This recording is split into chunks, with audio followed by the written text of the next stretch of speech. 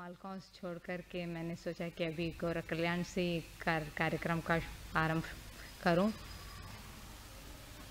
इसमें भी ये जो चीज़ें हैं हमारे गुरुजी की ही बनाई हुई चीज़ें हैं पहले गौरव कल्याण बजाऊँगी थोड़ी देर के लिए उसके बाद सावनी बरवा है सावनी बरवा भी हमारे गुरुजी अक्सर गाया करते थे और ऐसा हुआ है जब वो एक आध बार, जब सावनी बरवा गाते समय जब पानी का कोई नाम निशान नहीं था तो इतना पानी बरसने लगा उनके गायन के बाद। इतना वो उनका प्रिय राग था और बहुत ही अच्छी तरह गाते थे। तो वो थोड़ी देर के लिए बजाऊँगी। और, एक हमीर में एक तराना बजाने का विचार है, आड़ा चार ताल में। वो पंडित बलंत राय भट्ट की रची हुई चीज़ है। और अभी अभी हमारे शर्मा साहब ने कहा है कि गीता से बजवाना है तो पाँच सात मिनट के लिए जब भी बीच में थोड़ी थोड़ी सी देर में उसको कहूँगी कि थोड़ी सी बजाने।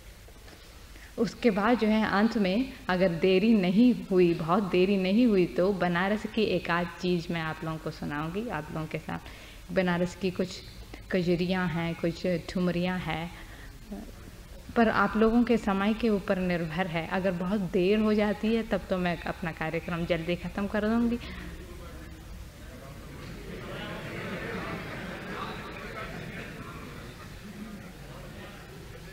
ये हमारे साथ जो तबले पर बैठे हुए हैं, ये पंडित अनोखीलाल जी के पट्ट शिष्यों में से है। आपने सुनाई है अभी भैया जी के साथ इनकी संगत। बहुत अच्छा बजाते हैं।